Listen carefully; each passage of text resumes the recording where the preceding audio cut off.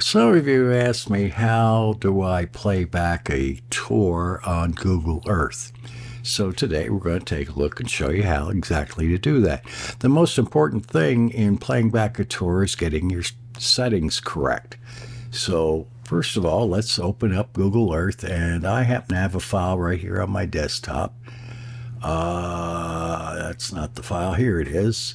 Uh, a friend of mine recently took a flight from San Francisco to Minneapolis and wanted to know what territory he flew over, and hopefully he was looking out the window and would occasionally see what's familiar here. So we created the tour, which is a .kmz file, as you can see. And if you have it on your desktop, all you do is double click on that, which will immediately open up Google Earth all by its little old lonesome. So hang on for a second and we will see that Google Earth is starting up and boom, there we go. And here it is. Now, because of some settings I had made previously, you only see uh, short red lines at both ends uh, of this particular flight. Uh, I could change the settings so that you would see one straight line over the area, but uh, we're not concerned with that. We're more concerned with the playback rather than seeing the entire route. All right, that said, uh, let's try the other route. If you already have your uh, flight path brought into Google Earth, which I do have right here, SFO to MSP. You notice this one says temporary places, MS SFO to MSP. So we're going to quit Google Earth, and I'll just hit Command Q, and don't save this is basically what's asking. Do I want to save that? And I'm going to say no. And boom, Google Earth is quit. So now we're going to go back into Google Earth and try the other way of opening up the file. And we'll wait for it to launch. And there we go. Okay, so as I said, I already had the file. Just got to scroll down and find it. And here we go, SFO to MSP, or San Francisco to Minneapolis, St. Paul. So we'll double click on that, and that immediately brings up the whole flight. All right, so what's important here? The importance is the settings that you have in your preferences for playing this. So let's bring up the preferences in Google Earth Pro. And we're going to go directly over here to the touring area. Okay, so we'll click on that. And here's what I've got. First of all, this section here, not all that relevant. Uh, time between features, I don't have any. Weighted features, I don't have any. Fly along lines, yes. Okay, fly along this line to this line over here. I got San Jose because I wasn't sure which airport he had initially flown out of, so I had, I had created a route for that as well. But we're dealing with the SFO or San Francisco Airport. Anyhow, okay, right in here's the important stuff. Camera tilt angle 60 degrees. That gives you a good angle from altitude down to the ground as to what you're passing over. Uh, camera, camera range when you're flying that high the camera range should be out there a ways. So I got 5,000 meters here. And that's what, 15,000 feet is the camera range, 15,000 feet ahead of the aircraft. Speed, speed really doesn't matter in this because we're really going to control the speed down here. Okay, and I've got speed at multiples of real time set at 10. Now, there's a good reason for doing that. If I fly it at the regular speed, it's going to take an hour and a half, two hours to cover the uh, 1,589 miles between San Francisco and uh, Minneapolis. Well, actually, we can speed that up a little here. Let's Let's bring that up to uh, 8,000. Let's see what that does. 8000. Enter. So it held the 8,000, but i am speeding that up even more right here.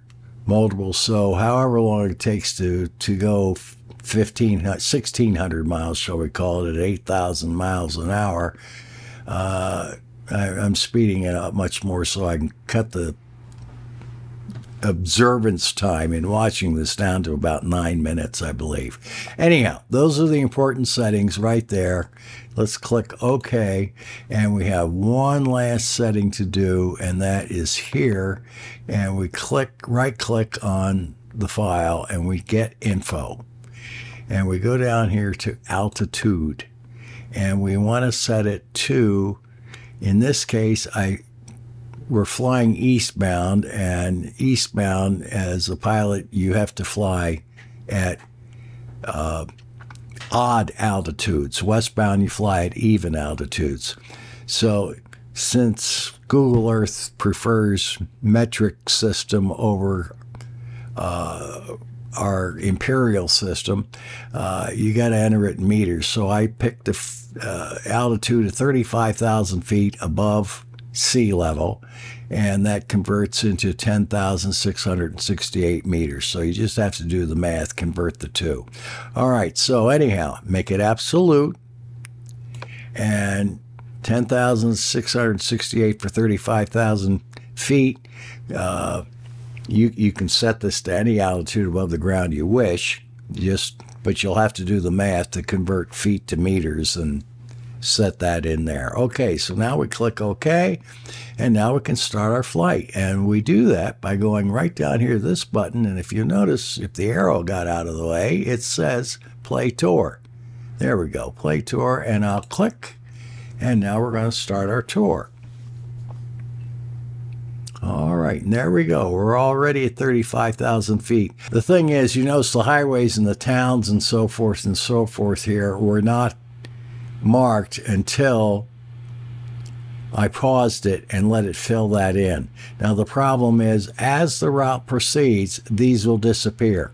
So you're going to have to stop it in between each time if you want to see the actual highways we're crossing. So now I'm going to hit the space bar and it continues on. And there we go. And you'll notice already the highways are running out. So let's hit the space bar, and there, they fill right back in, and you can continue on your way. Okay? So we'll get over the Altamont Pass out here in the East Bay Hills, and we're coming into the Central Valley. And we'll just hit the space bar again right there. Let it fill in. Hit it again to continue. And now we're coming to the east side of the Central Valley and getting into the Sierra foothills. Let's spacebar again, let it fill in. There we go. Hit spacebar to continue. There's Angels Camp right at the foothills. And we're going up over the foothills of the Sierra. And you can watch down here, you can see the ground level right here. So ground level 5,000, we're quickly starting to ascend. But the aircraft stays at a flat 35,000 feet. Okay, we're at 7, 8,000, 9,000, 10,000 feet are the height of the peaks below us. Let's just spacebar see if we get any highways. Well, yeah, we get US 395. We're now on the eastern slope of uh, the Sierra, and here is is the state line. This gray and white line is the uh, state line between California over here and Nevada up here. So with the space bar again, let it continue. We'll cross over into Nevada. And things are proceeding fairly quickly, as you can see. All right, so I'm just going to hit the space bar to stop it again.